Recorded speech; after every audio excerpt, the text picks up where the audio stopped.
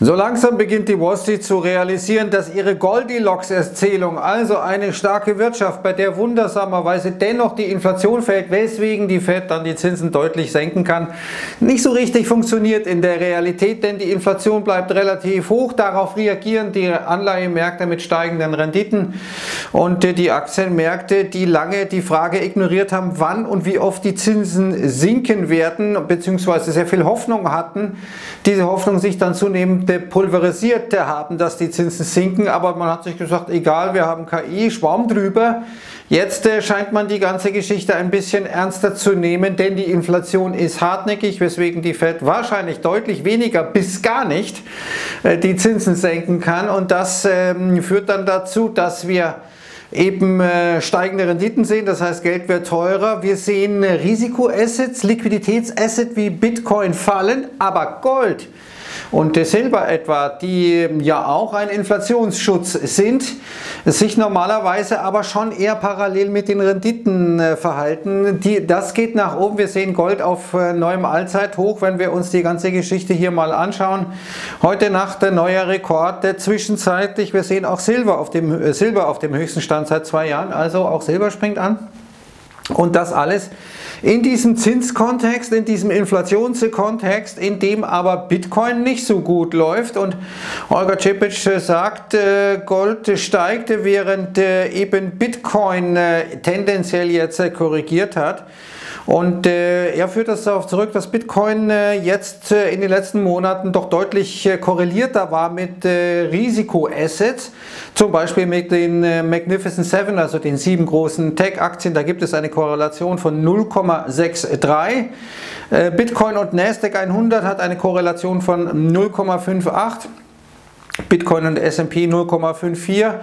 Also eine relativ hohe Korrelation Liquiditätsasset könnte man sagen und das wird nochmal durch Daniel Kostetzky hier klarifiziert. Der sagt, ja, aber schaut euch mal die Reserve Balances with Federal Reserve Banks an, also praktisch die Liquidität im Bankensystem in den USA, wenn man das mal so ein bisschen runterbricht. Und hier haben wir eine Korrelation zwischen der Liquidität im Bankensystem in den USA und Bitcoin von 70 äh, Prozent, also eine sehr, sehr starke Übereinstimmung. Das spricht dafür, dass Bitcoin eben vorwiegend ein Liquiditätsasset ist. Wenn also viel Liquidität da ist, dann ist das gut für Bitcoin. Weswegen Bitcoin seine Allzeithochs im Bereich, glaube ich, 67.000, 68.000 ähm, im Jahr 2020, 2021 gemacht hat, als die Fed die Zinsen auf Null gesenkt hat und Quantitative Easing betrieben hat. Jetzt eine Allzeithoch gemacht hat wegen den ETFs, aber wegen der Hoffnung auf sinkende Zinsen. Diese Hoffnung, die wird jetzt zunehmend geringer, weswegen Bitcoin offenkundig hier Schwierigkeiten bekommt. Und es gibt ja die sogenannte Sailor-to-Shift-Ratio, abgeleitet von Michael Saylor, der Herr hier rechts, der im Grunde ein Schneeballsystem mit Bitcoin aufbaut, indem er permanent gehebelt Bitcoin kauft, sich, damit, äh, sich dabei verschuldet und damit einen wahnsinnigen Hebel hatte. Das geht so lange gut, bis es halt nicht mehr gut geht, weil etwa Bitcoin fällt. Jetzt sagen viele Bitcoinisten das natürlich, Bitcoin fällt nicht, kann na, kann nicht fallen. Und Peter Schiff hier links, der Mann, der ja ein Goldbug ist und es gibt hier die sogenannte Nullerlinie in dieser Relation Bitcoin zu Gold. Und diese Nullerlinie ist oft ein sehr gutes Signal auch für die Aktienmärkte. Fällt nämlich Bitcoin zu Gold, tendenziell ist das ein Risk-Off-System, weil Gold eben doch mehr noch als sicherer Hafen fungiert als äh, Bitcoin. Und hier sehen wir mal im längerfristigen Chart, dass äh, Gold zu Bitcoin deutlich gefallen ist in der Summe, aber nun einen Boden auszubilden scheint. Unten sehen wir mal Nasdaq in Relation äh, zu Gold. Da kommen wir oder sind an einer Trendlinie erstmal gescheitert. Also da ist durchaus jetzt eine bessere Performance von Gold in Relation zu Bitcoin nicht unwahrscheinlich. Und jetzt äh, gucken wir uns mal die Relation an, das Verhältnis an zwischen realen Assets, Rohstoffe, Real Estate, also Immobilien im weitesten Sinne des Wortes, gegen Finanzassets, also Aktien, äh, Long-Term Government Bonds, also praktisch äh, Staatsanleihen und dann sehen wir reale Assets, also das, was ich anfassen kann, das ist auf Allzeit hoch, Allzeit tief in Relation zu Finanzassets wie Aktien und eben Staatsanleihen und äh, da könnte durchaus langsam ein Comeback mal anstehen, weil wir schlichtweg ein bisschen übertrieben haben, möglicherweise, was das Aufblähen von äh, Vermögenspreisen betrifft, eben gerade bei Aktien. Hier sehen wir mal den Buff Buffett Indicator, also das Verhältnis des S&P 500 in Relation zur gesamten Wirtschaftsleistung der Amerikaners, also S&P zu GDP. Und hier sehen wir, naja, wir waren schon mal ein bisschen höher. Äh, das war in die Corona, aber jetzt sind wir fast da, wo wir in die Corona gewesen sind. Wir sind deutlich höher als auf dem Hochpunkt der Dotcom-Bubble. Und das sagt uns etwas. Das sagt uns eben, dass diese äh, Inflationierung von Vermögenspreisen, vor allem bei Aktien, eben, naja, ziemlich weit gediehen ist.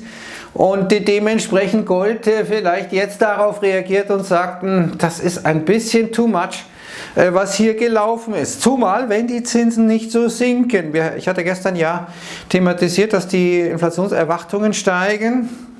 Nächste Woche kommen die Inflationsdaten, die dürften dann sehr stark auch durch steigende Energiepreise und Rohstoffpreise getrieben sein. Die Märkte jetzt hawkischer als die Fed, weil die Fed Fund Futures jetzt weniger als drei Zinssenkungen einpreisen. Gestern hat sich Daily geäußert, die San Francisco Fed-Chefin eher dovish unterwegs, also eher im Lager derjenigen, die tendenziell zu Zinssenkungen neigt, aber die sagte gestern, there is no urgency to cut rates, also es gibt keine Dringlichkeit, die Zinsen zu senken und Mester, ebenfalls der FED-Mitglied, eher hawkisch unterwegs, sagt, ich will mehr Inflationsdaten sehen, bevor wir die Zinsen senken, aber sie sagt auch, die Gefahr, äh, zu früh die Zinsen zu senken, ist höher als die Zinsen zu lange restriktiv zu halten. Und all das in einem starken oder mit einem starken Arbeitsmarkt, mit der sehr starken oder relativ starken, soliden US-Wirtschaft.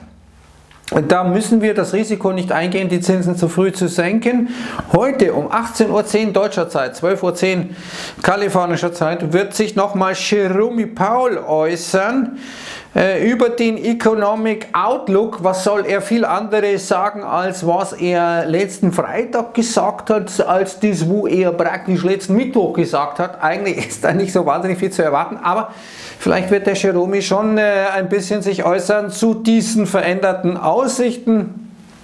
Wir sehen auch asiatische Aktienmärkte unter Druck, eben wie gestern auch die Wall Street, weil die Zinssenkungshoffnungen ein bisschen schwinden. Und unten sehen wir mal den City Economic Surprise Index, der wieder ein bisschen angesprungen ist. Das heißt, die US-Konjunkturdaten sind wieder etwas besser geworden. Und US-Konjunkturdaten, auch das Stichwort heute, 16 Uhr werden wir bekommen, den ISM Dienstleistungsindex. Und wir erinnern uns, am Montag, äh, als hier Feiertag war, gab es ja den ISM Gewerbeindex in den USA mit stark steigenden Preisen.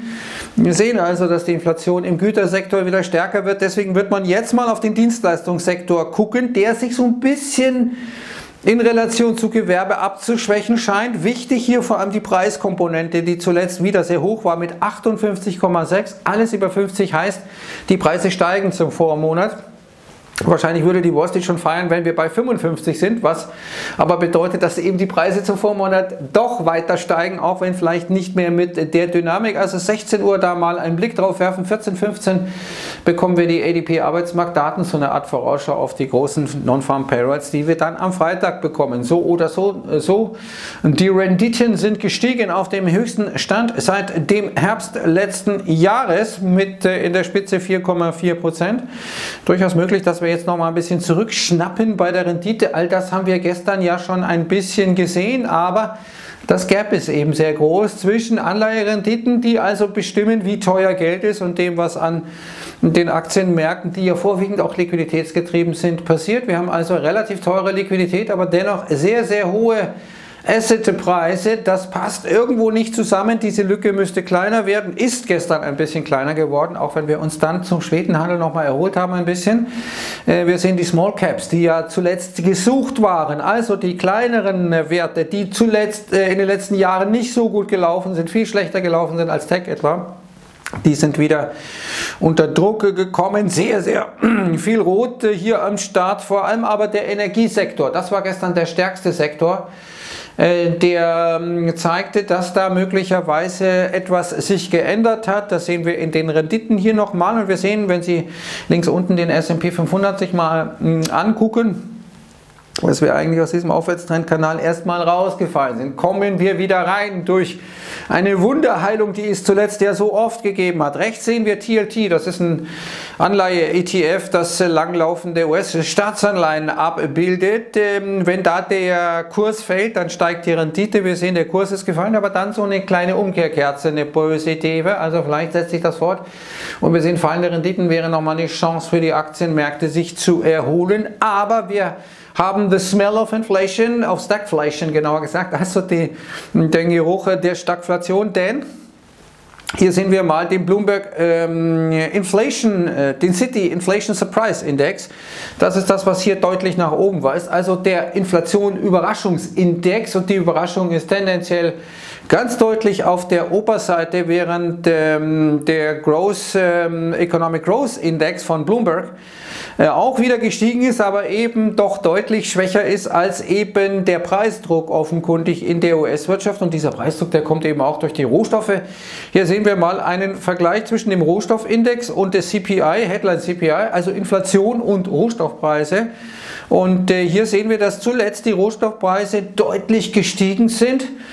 Das heißt, dass äh, die Wahrscheinlichkeit nicht gerade schlecht ist, dass eben die Inflation diesen gestiegenen Rohstoffpreisen folgen wird, die bisher ja eher deflationär unterwegs waren in den letzten Monaten. Da kam ja die Inflation nur aus dem Dienstleistungssektor. Wenn sich das ändert, dann haben wir wahrscheinlich nach wie vor Inflationsdruck im Dienstleistungssektor bekommen, aber jetzt noch dazu eben den äh, Inflationsdruck ähm, aus dem äh, Gütersektor.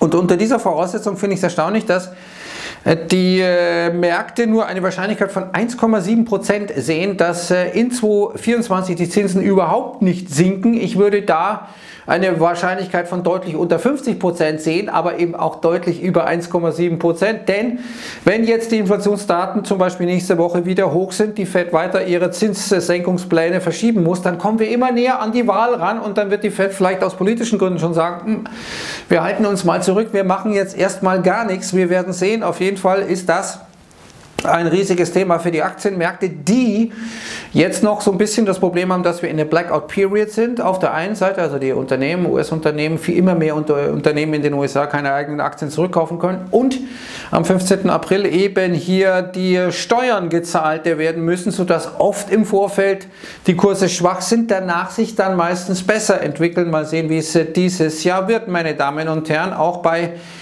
der Religionsgemeinschaft Tesla herrscht der Blues, die uns ja und mir vor allem noch äh, immer erzählt hat, guck mal, null Ahnung, Tesla, das Ding in der Zukunft. Nun muss vielleicht der Elöne alleine auf den Mars fliegen und wir bleiben hier äh, wenn die Geschichte schief geht. Jetzt äh, gab es ja gestern enttäuschende Absatzzahlen, aber auch jetzt neue Zahlen aus China. Äh, sehr, sehr schwache Absätze. Der Marktanteil in China im Elektroautomarkt von 10,5% auf jetzt nur noch 6,7% geschrumpft und das dürfte sich noch weiter verschlechtern, weil die Chinesen ja eine Riesenoffensive äh, fahren. Immer mehr Elektroautohersteller, immer mehr versuchen sie hier den Markt zu dominieren und das wird für Tesla sehr, sehr schwer.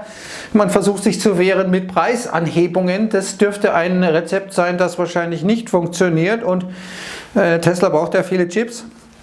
Jetzt haben wir ein schweres Erdbeben in Taiwan, sodass, äh, das war zwar im Osten Taiwans, äh, aber auch TSMC ist teilweise hier, oder bei TSMC ist teilweise die Chipproduktion eingestellt worden. Und hier ähm, eine Twitter-Aussage, ein Freund von mir ist in Taiwan da, ein Semiconductor-Guide, der sagt, das kann Tage, wenn nicht Wochen, vielleicht sogar Monate dauern, bis man wieder hier voll produziert.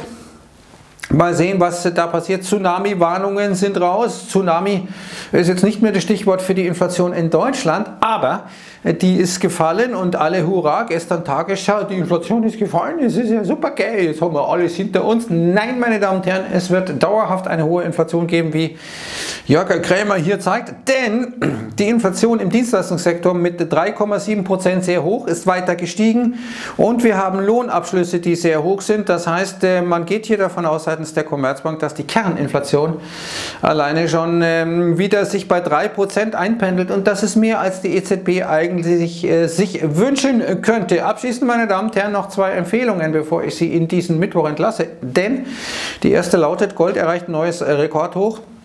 Silber nimmt Fahrt auf.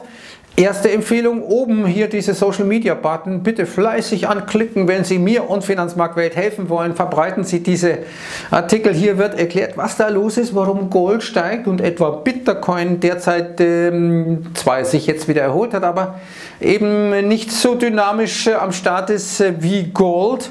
Und der DAX, der ja wie am Schnürchen gelaufen ist, korrekturfrei gelaufen ist, gestern nochmal einen Rekordhoch gemacht hat, ist das der Beginn einer Korrektur. Das ist die zweite Empfehlung. Die können Sie eben auch weiterempfehlen über diese Social Media Button. Also die Links packe ich unter das Video und sage jetzt erst einmal Servus und Ciao.